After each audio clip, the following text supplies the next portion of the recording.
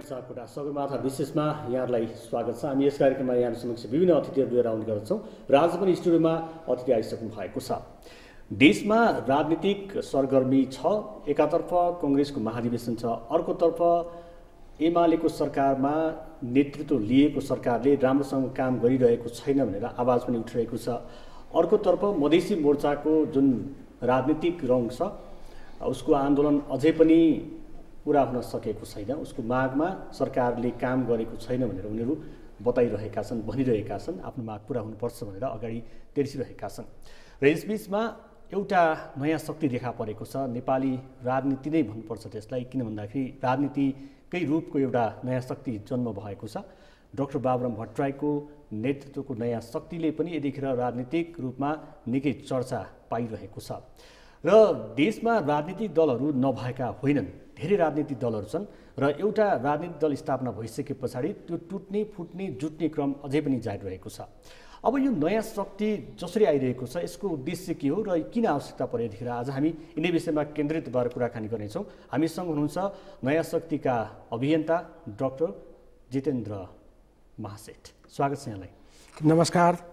यहाँहरू सबलाई मेरो तर्फबाट हार्दिक अभिवादन। अब यो नामै नयाँ शक्ति भनेर त्यो गठन गरिएको छ त्यसरी नामाकरण गरिएको छ। नयाँ शक्ति नाम भयो तर त्यसमा संलग्न हुने व्यक्तिहरू चाहिँ पुरानै हुन्छ। त्यो नयाँ शक्तिलाई परिभाषा गर्दाखेरि कसरी गर्नुहुन्छ? हेर्नुहोस् यहाँ त शब्दले अर्थ लाग्छ। काम चाहिँ जेसुकै गरोस्। जसरी कसैले आफ्नो नाउँमा कम्युनिस्ट नाम जोडिलिन्छ आचरण बानी बेहोरा त्यो हुँदैन। कसैले आफूलाई डेमोक्रेट जोडिलिन्छ नाम आचरण हुँदैन। तसर्थ यसलाई चाहिँ कुनै किसिमको इन्डिकेसन नहुने गरी एउटा साँच्चीकै नयाँपन होस् र नयाँपन इन द सेन्समा जोकर जस्तो होइन कि पोजिटिभ कुराहरू होस्। हामी तपाईँले एउटा साधारण जे गरे पनि भारत चिनको हामी उदाहरण दिने गरेका छौँ। अब जसरी भारतमा एउटा चाहिँ आप एउटा चाहिँ आम आदमी पार्टीको जुन छ नि कन्सेप्टहरू छ। अब उनीहरूसँग अलिकता हाम्रो भिन्नता पनि छन्। जसरी म फलानुलाई अब शिला दीक्षितलाई थुनेर लगिदिन्छु भन्ने एउटा बाहबाही पाउने अथवा त्यो गर्ने। हाम्रो मूल समस्या के छ भने कि मान्छे राणा शासन फाले त्यसमा शहीदको सपनाको कुराहरू गर्छन्। पञ्चायत जमाना आए नाम जे फेरिए पनि गतिविधिहरू त्यस्तै रह्यो। र त्यस्तै पञ्चायत फालिसकेपछि त्यसमा पनि धेरै मान्छेहरूले शहादत दिए नेपाली दाजुभाइ दिदीबहिनीहरू। त्यसपछि पनि आचरण र काम कर्तव्यहरू त्यस्तै रहे। त्यसपछि गणतन्त्र पनि आयो र म यही कन्टेक्समा तपाईँहरूले भन्न चाहन्छु। हामी रामराजाजी लगायत मुठीभर मान्छे हामीले गणतन्त्रको सपना देखेका छौँ। त्यसमा मैले जिन्दगीमा धेरै टर्चरहरू आफै सहाएको छु र मेरो आफ्नै एकदम प्रिय साथीहरू ईश्वर लामा पदम लामा दिलीप चौधरी सत्यनारायण शाह डाक्टर लक्ष्मीनारायण झा लगायत थुप्रै साथीहरूले शहादत पाएको हो। र म आफूलाई एउटा एक किसिमले भाग्यमानी पनि ठान्छु कि आफ्नै जीवनकालमा चाहिँ मैले राजतन्त्रको त्यत्रो सेना हुँदा हुँदै पनि राजतन्त्रको अन्त देखिया छु। तर आम समुदायमा जुन एउटा अपेक्षा राखिएको थियो परिवर्तनको त्यो सायद मेरो कुनै पूर्वाग्रही धारणा नभएर यो आम समाजबाट म आएको हुनाले र आम समाजको जुन धारणा छ नि परिवर्तनको एउटा चाहिँ कल्पना गरेर मान्छेहरूले यो सब हटाउने राख्ने गर्ने कुरा गरेका थियो।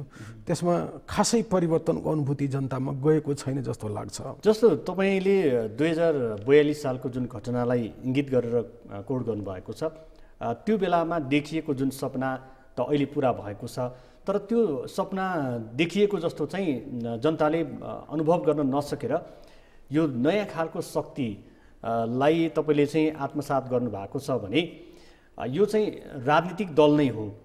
नेपालमा राजनीतिक दलहरू चाहिँ एउटा न एउटा वादमा चाहिँ आबद्ध छन् र त्यो नजुन्डाइकन उनीहरू चाहिँ अगाडि बढ्न सकिरहेका छैनन्। अब तपाईँहरूको चाहिँ कस्तो वाद हो हेर्नुहोस् यो वादबाट मान्छे आजित भइसकेका जस्तो मलाई लाग्छ। मैले धेरै रिक्सावाला ताङ्गाहरू र गरिबहरूलाई तपाईँ सुन्नु होला। म हजारौँ गरिब गुरुबाहरूको उपचारमा धेरै म चाहिँ कोसिस संस्थागतै भए पनि गरिराख्ने मान्छे हो। त के भयो भने नामको अगाडि साँच्चैकै भन्ने हो भने दया लाग्छ नाम झुन्ड्याइदियो। तर आचरण जीवनशैली हेर्दाखेरि तपाईँले विश बिल्कुलै मेल नखाएको जस्तो देखिन्छ र यो म कुनै हिसाबले कसैलाई क्रिटिसाइज गर्न चाहेको होइन। म विनम्रतापूर्वक भन्न चाहेको हो। तसर्थ आम नेपाली जनताहरूले यो देशमा एउटा पोजिटिभ चेन्जको अपेक्षा राख्दछ। म चिकित्सा म एउटा चिकित्सक पनि हो तपाईँलाई म इमान्दारीपूर्वक भन्न चाहन्छु। तपाईँले यथास्थितिमा एउटा बेडमा दुई चार दस दिन पल्टी राख्नुहोस् तपाईँको बेड सोर हुन्छ घाउ भइहाल्छ। यो नेपालको परिस्थितिमा पनि त्यस्तै हो। जुन जोगी आ कानै चिरेको भन्छ। भोलि म यहाँहरूलाई फेरि पनि भन्छु म विशुद्ध एउटा गणतन्त्रवादी भएको हुनाले म चाहिँ माओवादीको लडाकुहरूलाई शिक्षण अस्पताल कोहलपुरमा चोडेर भए पनि देखाएर भए पनि थुप्रैलाई बिना पैसाको उपचार गरेँ। र मैले भन्ने गर्थेँ युवा हुँदाखेरि मैले आफै बन्दुक बोक्ने अरूलाई सिकाउने गणतन्त्रको कुरा गर्ने अब त्यो अवस्था मेरो नभए पनि युवाहरू मेरो फ्रीमा त उपचार हुन्छ नै रेस्पेक्टको लागि मेरो सलाम छ भनेर गर्थ्यो त्यो तात्कालीन समयमा गरिएको सेवालाई आधार मानेर डक्टर बाबुराम भट्टराईले पनि तपाईँलाई सदास्यता देखाएको हो कि? अथवा तपाईँको पनि एउटा मन मिल्दाखेरि नयाँ शक्तिमा तपाईँको झुकाव बढेको मलाई कस्तो लाग्छ भने फेरि पनि इतिहासको कुरा म कोट्याउन चाहन्छु। हामीले भन्ने गर्थ्यौँ आर्थिक समानता र राजनीतिक स्वतन्त्रता एकअर्काको पूरक हो र विश्वव्यापी अब बिस्तारै यो हुनेवाला छ। जसरी हिजो अस्तिसम्म चिनमा राजनीतिक स्वतन्त्रताको कुराहरू उठ्थ्यो। आर्थिक समानताको कुरा हुन्थ्यो तर अमेरिकन डलर नआएको भए चिन यति प्रति आर्थिक समृद्धिशाली हुँदैन थियो। हामीले पनि राजनीतिक स्वतन्त्रताको पहिलादेखि नै वकालत गर्दै आएका छौँ। त्यो बिना मान्छे मान्छे रहन सक्दैन किनभने म जेल पनि काट्यो मलाई जति सुविधा दिए पनि जेलमा बस्न म तयार थिएन। त्यस्तै अहिले तपाईँले पैसाको चलखेलकै कारणले बाहुबलकै चल कारणले मासु दारू खुवाएकै कारणले गतिलो मान्छेहरू राजनीतिमा आउन सकिरहेको छैन। तपाईँले देख्नुभयो होला। र यो अहिलेको जुन तपाईँको चाहिने यो कालाबजारियाहरू जुन भइरहेछ नि पहिला लाख र करोडमा चन्दा दिन्थ्यो अब अरबमा दिन्छ र त्यसबाट त त्यसले चाहिँ धेरै दिनसम्म समाजलाई कल्याण गर्न सक्दैन एउटा भ्याकुम क्रिएट भएको जस्तो लाग्छ। यो तपाईँ पत्रकार भन्दा पनि एउटा आम नेपाली नागरिक हो म जस्तै तपाईँले पनि यस्तै फिल भयो होला। र त्यही फिलिङलाई मैले पनि ध्यानमा राखेर आर्थिक समानता र राजनीतिक स्वतन्त्रताको कुराहरू गरिरहेछौँ दोस्रो कुरा के छ भनेदेखि तपाईँको चाहिने मेरो अरू पनि कतिपय कुराहरू जुन छन् जुन पुरानो लिगबाट हटेर म पक्का पनि सुनाउन चाहन्छु र म भेटरेन पोलिटिसियन होइन। मेरो यो फिलिङ हो र यो फिलिङमा कति मान्छेहरू समाहित हुन्छन् भन्ने तपाईँहरूकै माध्यमबाट मैले पनि जानकारी लिन खोज्या हो। तसर्थ साथी अब अगाडि बढ्दै जान्छ भने म तपाईँलाई परराष्ट्र नीति अर्थनीति अन्य मामलामा पोलिटिकल सोसल यो कुराहरूमा पनि म कुरा गर्न चाहेको जस्तो यो नयाँ शक्तिमा विभिन्न धारबाट आएका विभिन्न विचारसँग आबद्ध भएका व्यक्तिहरूको एउटा समूहगत रूपमा यसमा प्रवेश भएको छ र एउटा नयाँ ढाँचाबाटै अगाडि बढ्ने भनेर जसरी उद्घोष गरिएको छ। जस्तो अब नयाँ शक्ति भनियो तर त्यसमा देखिने अनुहारहरू त कहीँ न कतै पहिले पनि प्रवेश भइसकेका कोही कङ्ग्रेसबाट आएका कोही अब तपाईँ पहिले जुन रामराजा सिंहको पालामा हुनुहुन्थ्यो भने पछि सद्भावना पनि आउनुभएको भन्ने मलाई जानकारी छ।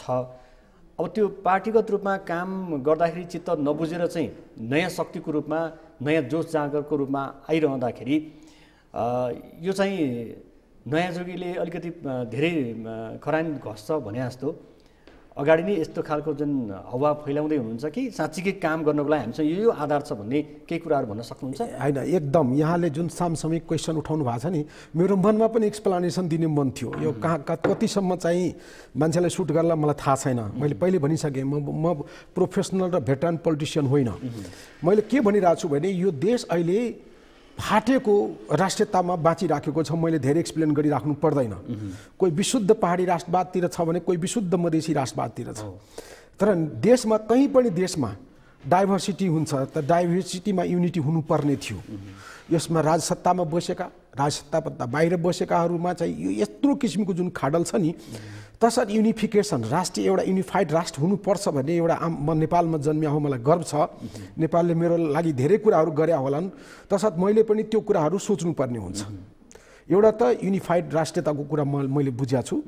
दोस्रो कुरा आर्थिक सम्पन्नताको। आजको युगमा आर्थिक सम्पन्नताको बिना राष्ट्रियता टिक्न सक्दैन।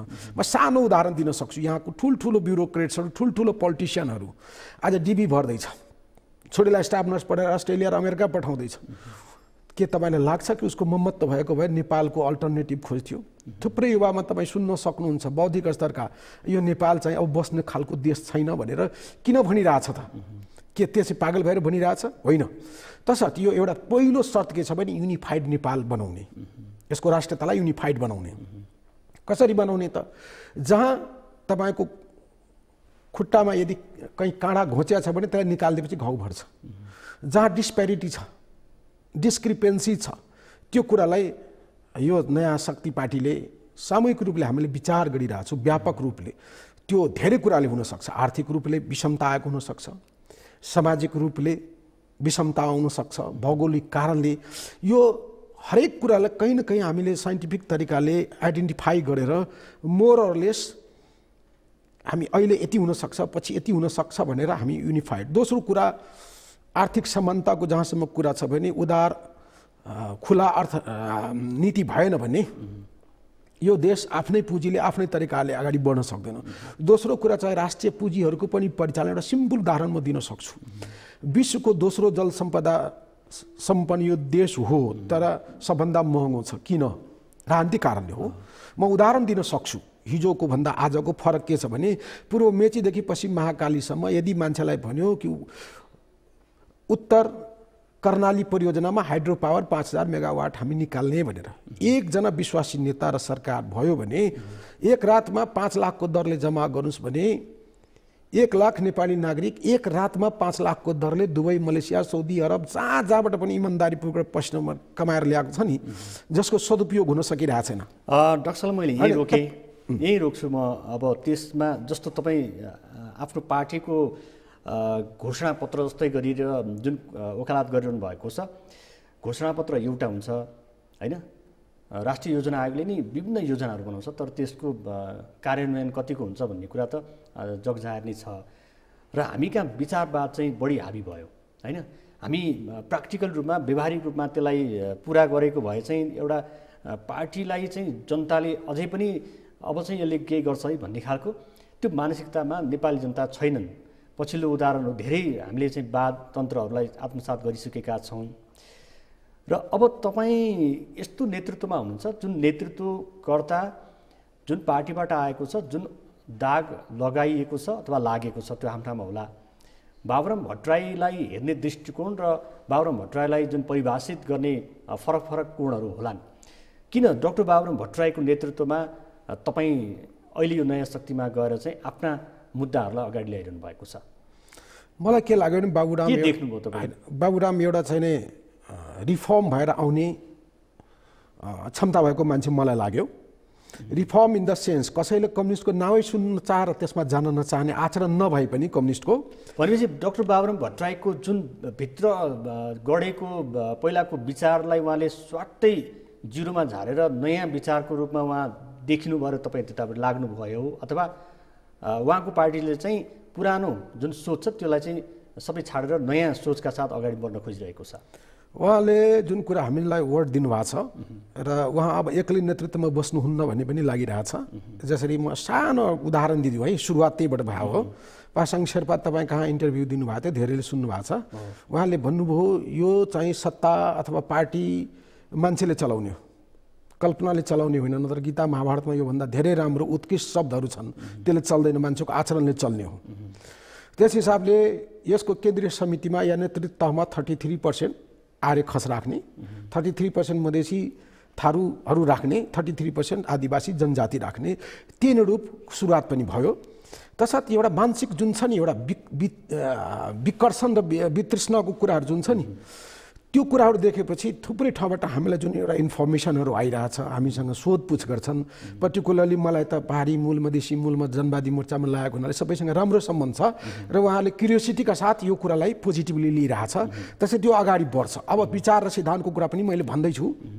एउटा त आर्थिक समानता राजनीतिक स्वतन्त्रताको कुरा हो जसमा मार्क्सिस्ट इकोनोमीलाई बिल्कुलै त्याग्न सकिँदैन र त्यसलाई परिष्कृत रूपमा लग्यो भने त्यो अगाडि बढ्न सक्छ। र अर्को पनि व्याख्या। म आफै पनि यङ हुँदाखेरि म कलेज पाटन संयुक्त क्याम्पसमा उन्तिस सालमा म क्याम्पस क्याम्पसको युनियनको सभापति पनि थिएँ। त्यस बेला क्रान्तिकारी बन्नु पऱ्यो भने राजाको विरोधी को नारा दिने क्रान्तिकारी भइहाल्यो अरू गरोस् कि नगरोस्। र यहाँबाट चाहिँ एकदम विशुद्ध राष्ट्र राष्ट्रवादी भन्नलाई भारतको विरोध गरे पुगिहाल्यो। त्यसबाट कति नोक्सान नफा त्यो अब चाहिँ हुँदैन। अब संयमित कुन देशबाट कसरी रिलेसन राख्दाखेरि कहाँ हाम्रो नोक्सान हुन्छ र कहाँ फाइदा फाइदा हुन्छ त्यो कुराहरू पनि हाम्रो बिचमा छलफलहरू भएको छ र हुन्छ पनि। त्यस्तै डिस्क्रिपेन्सिज र डिस्प्यारिटीहरू जुन छ नि जसरी राष्ट्रको जहाँ आय स्रोतहरू छ नि त्यहाँ एकाधिकार हुँदैन। त्यहाँ योग्यता र कम्पिटेन्सी र पिछडिएका मानिसहरूलाई विशेष सुविधा दिएर भए पनि अगाडि ल्याउने। तसर्थ मान्छेले यसलाई इन्ट्रेस्टको जस्तो अब नयाँ शक्ति एउटा त डक्टर बाबुराम भट्टराई प्रधानमन्त्री भएको मान्छे र एउटा अर्थमन्त्रीको जिम्मेवारी सम्हालेको मान्छे र डक्टर बाबुराम भट्टराईले गरेका केही केही कुराहरूलाई लिएर केही आशा जगाउने ठाउँ त छ। तर उहाँलाई लागेको दागलाई मेटाउनु लागि नयाँ शक्ति अथवा उहाँले आफ्नो जुन अनुकूलको काम गर्न नपाउँदा पार्टी परित्याग गरेर नयाँ शक्ति गठन गर्नुभयो भन्ने खालको आक्षेप पनि छ एउटा कुरा चाहिँ।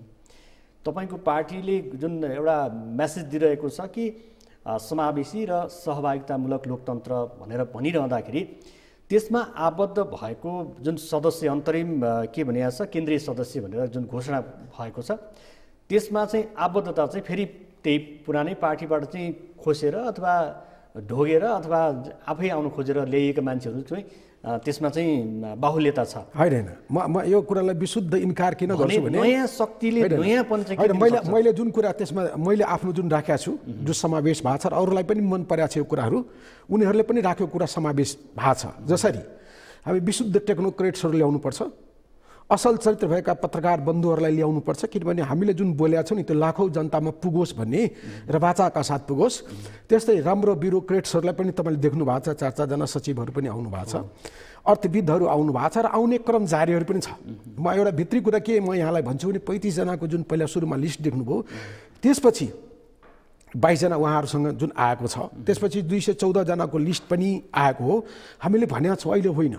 त त्यसमा बाबुराम पत्नी हिसिलाइमी चाहिँ हुनुहुन्न होइन? अहिलेसम्म उहाँको नाउँ छैन। त्यसलाई पनि मान्छेले शङ्कास्पद रूपमा हेरिरहेका छन् जुन आफ्नै पत्नीलाई चाहिँ बाइपास गरेर हुन त उहाँ प्रोग्राममा त देखिनु भएको छ। त्यो त प्रोग्राममा जो पनि सहभागिता हुनु हुने नै भइहाल्यो। तर हिसिलाई एमी त्यहाँ इन्भल्भ नहुनु संलग्न नहुनुलाई पनि केही कारण मान्न सकिन्छ? हेर्नुहोस् मलाई सबै कुरा थाहा हुँदैन। मैले एकछिन अगाडि तपाईँले भनिहालेँ।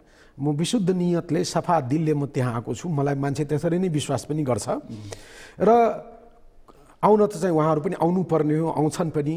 तर धेरै विशिष्ट मान्छेहरू म अहिले नाम भन्दिनँ मेरो कुराहरू व्यक्तिगत रूपले म मेरो व्यक्तिगत चिन्जानको हिसाबले शुभकामना पनि दिइराख्नु भएको छ। हाइली लर्नेड दागै नलागेका मान्छेहरू अन्य पार्टीमा पनि।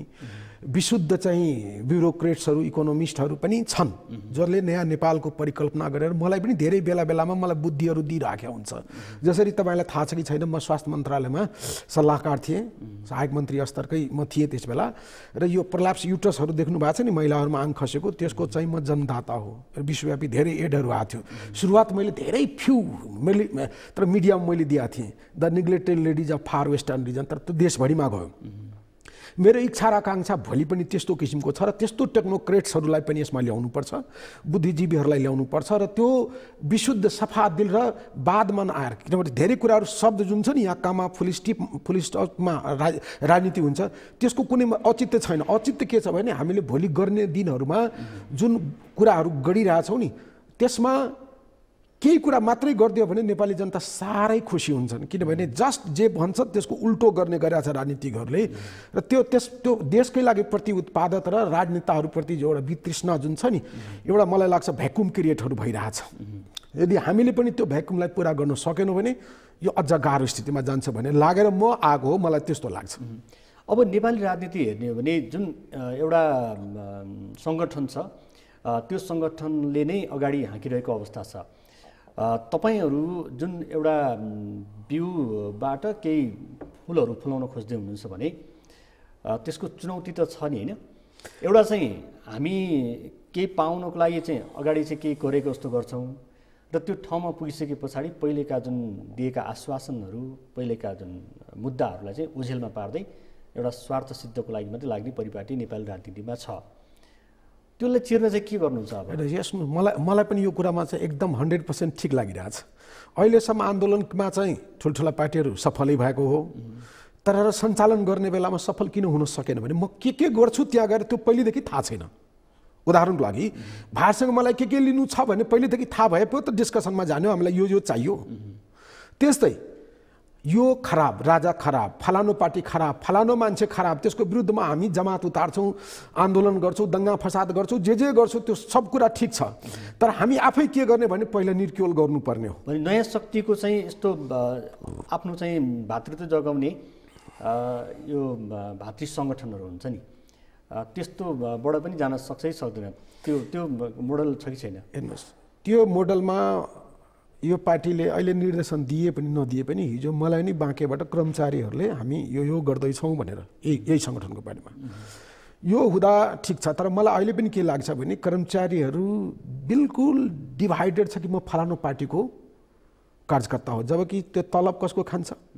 देशको खान्छ। त्यो सबैको सेवक हो। यस्ता कुराहरूमा लाग्न दिनु हुँदैन नम्बर एक। नम्बर विभिन्न सङ्घ सङ्गठन त होला भ्रातृ सङ्गठनहरू। तर त्यो राजनेताको आशीर्वादले तपाईँ जहाँ पनि हेर्नु होला टिकट जसले लिन्छ जसले पाउँछ नि जित्ने सित्ने काम त्यसैले गर्छ। त्यो गर्न दिनु हुँदैन गर्नु पनि हुँदैन। उनीहरू यदि सपोज गरौँ न हाम्रो एउटा चाहिँ नीतिको हिसाबले अर्थनीति अथवा सामाजिक नीति अथवा एजुकेसनल जुन छ नि या स्वास्थ्य छ नि त्यसमा गएको मान्छेहरू तिनीहरूको माध्यमले यो भावनाको जुन कुरा छ नि त्यो कुरालाई इम्प्लिमेन्ट गराउन अफकोर्स तिनीहरूको सहयोग चाहिन्छ र पोजिटिभ पनि हुन्छ। तर क्वालिटियै नभएर क्षमतै नभएर तपाईँले देख्नुभयो होला यो देशमा यत्रो ठुलो पार्टीहरू छन्। यो क्रिटिसाइजको रूपमा नलिनुहोस्। मानवीय आपदा भूकम्प कसलाई थाहा छैन विश्वव्यापी र यहाँको कुन राजनेतालाई थाहा छैन। तर एउटा सिओको लागि यत्रो ठुलो पार्टीले आठ महिना सात महिनासम्म नीति निर्माण गर्न सकेन। त्यो मलाई लाग्छ कि अहिलेको जाडोमा म घरमा बस्दाखेरि कति जाडो लाग्छ तर त्यो चाहिँ एउटा भनौँ न आर्टिफिसियल कपडाको घरमा बस्दाखेरि त्यो ठेका लिन मिल्छ कुनै पनि राजनेता र कुनै कुनै सिओले रातारातकै आकाश उडाइदिन्छ। या त्यो कानुनै नबने पनि यो देशमा डिफ्रेन्ट मन्त्रालय विभागहरू त छ नि। सभा भएको भए नयाँ शक्तिले चाहिँ जुन राजनीतिक भागभण्डामा आधारित जुन संरचना नेपालमा हाबी छ त्यसमा चाहिँ नयाँ शक्तिले त्यो खालको ओखेला चाहिँ गर्दैन। म व्यक्तिगत रूपले पनि भन्दैछु म सधैँभरि यो कुराको आवाज उठाउँदै आएको छु। दक्ष विज्ञ मान्छे चाहिँ त्यहाँ हुनुपर्छ बिल्कुल। राजनीतिक रङ लागेको मान्छेले सिफारिसमा त्यहाँ नियुक्ति हुनु होइन हुनु हुँदैन। किनभने ऊ विशुद्ध कार्यकर्ता इभेन यो देशमा यत्रो पवित्र जसको विरुद्धमा बोल्नै हुँदैन। हाम्रो जमानामा अझ कडाइ थियो। न्यायाधीश जस्तो मान्छे राजनीतिक पार्टीको कार्यकर्ता भएर हिँडेको तपाईँले देख्नु भएको छ लोकसभा इभन मन्त्रीले के भन्छ भने यो मेरो पार्टीको हो त्यसका त्यसलाई विशेष सुविधा दिँदो अब अहिलेको अवस्थामा नहुनेहरूले पो त दानको पैसा खाने हो। तर तपाईँले जहाँ पनि हेर्नुहोस् हुने खानेले नै दानको पैसा स्वास्थ्य मन्त्रालयको पैसा बुझ्नुहोस् अथवा अन्य ठाउँको पैसा हेर्नुहोस्। त्यो त यो बिल्कुल अपवित्र मानवीय दृष्टिकोणले धार्मिक दृष्टिकोणले बिल्कुल अपवित्र होइन। जसलाई चाहिएको छ दानको पैसा त्यो त निरीह अवस्थामा छ नि। हिजो अरबपति थियो होला तर भूकम्पको कारणले त बिल्कुल कङ्गालीको अवस्थामा छ त्यसको हिस्सा चाहिँ मान्छेहरूले राजनीतिक कार्यकर्ताको रूपमा खाइराखेको तपाईँले देख्नुभयो यो तपाईँहरू जिरोबाट यो एउटा नयाँ संरचनागत रूपमा अगाडि बढिरहनु भएको छ भने कुनै पनि सङ्गठन चल्नको लागि त आर्थिक स्रोत त चाहिन्छ नै किनभने अहिले पैसा भएन भने केही पनि हुँदैन। यो यो एउटा कि चाहिँ विचारले अथवा उसको स्वच्छ दिमागले पनि ठुलै ठलफल ल्याउन सक्छ। दुई तिनवटा कुरामा एक्सपेरिमेन्ट भएको छ। तपाईँलाई याद हुनुपर्छ या तपाईँ केटाकेटी हुनुहुन्थ्यो होला। रामराजाजी पञ्चायत जवानको चरम जवानीको दिनमा अठाइस सालमा यो ग्रेजुएट कन्स्टिट्युएन्सीबाट लड्नु भएको थियो राष्ट्र पञ्चायतमा। के भनेर भने यो राजतन्त्र ठिक छैन राजाले गरेको काम सत्र सालको गैर संवैधानिक र गैर कानुनी तपाईँले चोरेर भए पनि मान्छेले त्यो पम्पलेट पोस्टरको उल्टै पैसा दिन्थ्यो। अहिले त खुला छ नि त। त्यस्तो हामीले के म मैले चाहिँ त्यो आचरणलाई पुरा गर्छु तपाईँहरूले हेर्नु होला हामीले के भनिरहेको छ भने हामीले दान मागेर अथवा कुनै गलत काम गर्नेहरूसँग चन्दा लिएर राजनीति गर्ने हो भने पुरानो र आजकोमा केही फरक हुँदैन। यसमा संलग्न हुने मान्छेहरू ती त्यस्ता मान्छेहरू छन् जुनमा चाहिँ आर्थिक अभाव नहुने र केही पद धारण गरिसकेको र केही सङ्कलन भइसकेका मान्छेहरूको समूहको कारणले गर्दा त्यो समस्या चाहिँ नहोला होइन मैले होइन मैले मैले सबै कुरा सबैको बारेमा थाहा छैन मलाई मलाई त्यो पनि धेरै कुराहरू थाहा तपाईँ। डक्टर जुन एउटा चाहिँ मेडिकल डक्टर हुनुहुन्छ धेरै लामो समयसम्म त्यो पेसा अङ्गलाइको मान्छेसँग पनि केही आर्थिक स्रोत नहोला भन्न त सकिँदैन म त्यही एजम्सनलाई म चिर्न चाहन्छु र म प्रश्न राख्न चाहन्छु र मेरो तरिकाले धेरैले यो कुरा बुझ्न पनि सक्छ। म उन्नाइस वर्ष डाइरेक्टर भएँ म प्राइभेट प्र्याक्टिस गरिनँ मेरो मेरो सीमित स्रोत र साधनहरू छ। र मैले स्वास्थ्य मन्त्रालयमा पनि चौतिस हजार राज्य मन्त्री या भनौँ न त्यो मन्त्री बस्दाखेरि मैले भ्रष्टाचार गरिनँ भने कसैलाई सोध्न सक्नुहुन्छ? मैले खान नपुगेर म यहाँबाट छोडेर अठार महिनाको लागि आएको थिएँ सात महिनैमै छोडेर गएको। मेरो एक लाखको सेलेरी त्यहाँ हुन्थ्यो। यहाँ चौतिस हजारमा म सर्भाइभ गर्न नसकेर गएको। ठिक छ? अहिले पनि म आउँदाखेरि मेरो चिन्तन हुन्छ कि मेरो निजी प्राइभेट क्लिनिक छ। त्यहाँ गएर दुई पैसा सोध्नु होला सबभन्दा कमै पैसा पनि लिने हो मा बडो माया गरेर हिँड्ने हो। तर किल्लीको कुरा गर्नुभयो नेपालको स्वास्थ्य क्षेत्र यसरी चाहिँ नराम्रो अवस्थामा गइरहेको छ कि त्यो भद्र सेवा अथवा चाहिँ सामाजिक सेवा भएर पनि त्यसले आर्थिक लुट चाहिँ मच्चाइरहेको कुरा पनि बिर्सनुहुन्न नि होइन? तपाईँले जुन इस्यु उठाउनु भने म धेरैचोटि त्यो कुरा बुझ्ने गरेको छु। यो समाज भनेको हरेक कुराले जोडिएको समाज हो। जसरी यो समाजमा तपाईँ बिल्कुल एउटा सुब्बा हुनुहुन्छ। मानिनुहोस् तपाईँ मैले यो खालि मालपोतको कुरा होइन एउटा उदाहरण उदाहरण दिन खोजेँ तपाईँ सुब्बा हुनुहुन्छ अथवा भन्सारको पिउन हुनुहुन्छ। तपाईँको छोरीलाई बिहेमा सुनको करुवा देख्नुभयो होला। त्यस्तै एउटा नैतिकवान र इमान्दार डाक्टरले जुन छ नि उसले आफै नैतिकता र इमानका साथ हिँड्यो भने हिँड्नुपर्छ अहिलेसम्म हिँडिया चाहिँ छैन। सबैलाई त्यस्तो त म भन्न जान्दैन कि। सबैले त्यस्तै गर्छ भन्ने छैन। कतिपय नैतिक र इमान्दार मान्छे अब तपाईँ केसीलाई लिन सक्नुहुन्छ नि त एउटा उदाहरण। उहाँ त एक्लो बृहस्पति हुनुभयो। अरू त्यही रहन्छन् भने मैले भने नि तब त उहाँको नाउँ छ। होइन? कतिपय मान्छे जसरी मैले यो मञ्चमा आएर बोलिरहेको छु त मैले मेरो सुन्नेहरू होला। त सुन्नेहरू मभन्दा के विद्वान छैनन् होला। डेफिनेटली मभन्दा धेरै विद्वानहरू होला। तर मैले एउटा चाहिँ भनौँ न एउटा साङ्केतिक र तपाईँले मौका दिनुभयो नि त्यस कुरामा मैले एक्सप्लेन गर्न खोजेँ। सबै डाक्टरहरू बिमान छैनन्। धेरै राम्राहरू पनि छन् धेरै राम्राहरू। उसको बारेमा हामीले थाहा पाएनौँ किन उनीहरू करप्सन गरेन अथवा धेरै ठुलो ठाउँमा पुगेन। इमान्दार नैतिकवान मान्छेहरू थुप्रै छन् अरूको तुलनामा डाक्टर पनि। त्यस्तै ब्युरोक्रेट्सहरू जो भ्रष्टाचारी छैनन् त्यसको नाउँ तपाईँले थाहा पाउनु भएन अथवा त्यसलाई पागल ठान्छ अथवा त्यसले मौका पाएन हाम्रो कहाँको व्याख्या त्यही हो। हामीले के चाहेका छौँ भने यो देशमा थुप्रै मन्त्रालयहरू छ जसको डिपार्टमेन्टहरू हुन्छ। थुप्रै ब्युरोक्रेट्सहरू म त पहिला गाली गर्थेँ तर अब अहिले मैले थुप्रै ब्युरोक्रेट्सहरू इमान्दार नैतिकवान मान्छेहरू पनि र लर्नेड मान्छेहरूसँग पनि मेरो भेटघाट भएको छ। त कुरा कस्तो छ भनेदेखि अहिले तलब खान्छन्। त विकासको काम गर्दैन। किनभने मैले यो गरेँ भने मलाई के भन्छ अरे त्यो अख्तियार दुर्पीले समातिहाल्छ। थुप्रैले समातेको पनि हो। त यो यस्तो कुन कानुन छ कि राम्रो काम गर्दा गर्दै यदि मान्छेलाई समात्छ भने मोदी जस्तो दिनका दिन नयाँ कानुन बनाउनुभन्दा दिनका दिन काम गर्नलाई सजिलो पार्न धेरै कानुन तोड्दै जाने। हाम्रो त्यो पनि मानसिकता छ। तपाईँलाई मैले एउटा कोड गरेँ जस्तो नेपाल मजदुर किसान पार्टीका अध्यक्ष नारायणमान बिजुक्सीले चाहिँ के भन्नुभएको छ भने उहाँले पटक पटक भन्दै आइरहेको कुरा चाहिँ नेपालमा दोहोरो सेवा लिएर नेपालको प्रतिकूल काम गर्ने व्यक्तिहरूको हाबी भएर उहाँले त सङ्ख्या तोक्नु भएको छ बाइस हजारभन्दा बढी व्यक्तिहरू यहाँ छन् जुन दोहोरो तलब खान्छन् र यहाँको जुन सूचनाहरू चुहाउँछन् भनेर आरोप लागिरहेको छ। त्यो चाहिँ अब राजनीतिकदेखि लिएर प्रशासनिकदेखि लिएर अन्य निकायमा होला भने नयाँ शक्तिले जुन विदेशसँग गर्ने नीति र त्यो खालको गतिविधि गर्दैन भन्ने आधार छ तपाईँसँग? बिल्कुल आधार छ। मैले के भनिरहेको छु भने अहिलेको युवा जमातहरू मभन्दा धेरै राम्रो सोच्न सक्ने। जसरी मलाई आइटीको बारेमा ज्ञान छैन तर मेरो छोराछोरीलाई भन्यो भने उसले बेटर कुराहरू दिन सक्छ। अहिले त कस्तो छ भने कि पञ्चायत जमानामा पनि राजाका आसेपासे यसलाई हटाएपछि यो भ्रष्टाचार लाग्यो यो गलत काम गर्यो भने फेरि फर्काइ सर्किलमा त्यही हो। अहिले ठुल्ठुला दलहरूमा पनि त्यही छ। नयाँ मान्छे ल्याउनु नयाँ सोचको साथ ल्याउनु नयाँ त्यो चाहिँ खप खप्नै सक्दैन। उदाहरण म तपाईँलाई सिम्पल दिन्छु है यसलाई फेरि एक्ज्याक्टली नलिनु होला। नेपाल जस्तै एमाले र काङ्ग्रेस त एकदम पुरा देशभरिमा आफ्नो कार्यकर्ता दुनियाँ जहान सबै छ। पञ्चहरूको पनि यस्तै थियो। तर जब धाराशायी हुने बेलामा तपाईँ विचार गर्नुहोस् न नौवटा वार्डमा पैँतालिसजना पैँतालिसजना हारेको जित्यो गरेर नब्बेजना थियो देशभरिमा थियो। तर जब जब जनताले बुझिसकेपछि धाराशायी भयो कि भएन त्यस्तै भारतमा तपाईँको काङ्ग्रेस र भारतीय जनता पार्टीको हरेक ठाउँमा छ। तर दिल्ली जस्तो कन्सस ठाउँमा आउट अफ सेभेन्टी सडसठजना भोलि के गर्ला नगर्ला मलाई थाहा छैन। आम आदमी पार्टीले ल्यायो कि ल्याएन। तर यो देशमा पोजिटिभ युवाहरूले चेन्ज चाहेको छ। र हामीले या त हाइली कम्पिटेन्ट मान्छे छ भने त्यसलाई राम्रो पुग्ने खालको सुविधा किन नदिने? हरेकले जस्तो सुकै ठाउँमा गए पनि मैले यो पाइनँ मैले त्यो पाइनँ मैले यस्तो गरिनँ मलाई यो पद दिएन त्यो पद दिएन किन भनिरहेछ? किन पार्टीले मेरै कार्यकर्ताको मान्छे सिओ बन्नुपर्छ? अरे कुनै कम्पिटेन्ट मान्छे कम यत्रो विकास निर्माणको लागि थुप्रै मन्त्रालयहरू छन्। यो नबनाएर पनि काम चल्छ योग्यता र दक्षतामा आधारित जुन एउटा समतामूलक समाज छ अथवा त्यो जुन राष्ट्रले खोजिएको छ त्योपट्टि तपाईँहरू लाग्नुहुन्छ भन्ने तपाईँको बुझाइबाट बुझिन्छ। र अन्तिममा भनिदिनु होला अब नयाँ शक्तिले प्रारम्भिक रूपमा अरूभन्दा फरक जुन वाद राजनीतिक दलभन्दा फरक चाहिँ के गर्न खोजिरहेको छ हामी कसरी बुझ्न सक्छौँ नयाँ शक्तिलाई? नयाँ शक्तिले एउटा पोजिटिभ थिङ्किङ राखेको छ युनिफाइड राष्ट्र बनाउन खोज्या हो यो विकासको विकासमा आधारित हो। भने विकासवादी राजनीतिक दल भन्न मिल्छ अब। एकदम डेफिनेटली त्यसलाई तपाईँले त छोड्नै हुँदैन नारा चाहिँ हुन्छ तर ढुङ्गामुढा हुँदैन। नहुनुपर्ने हो पक्का पनि। ए हुनसक्छ।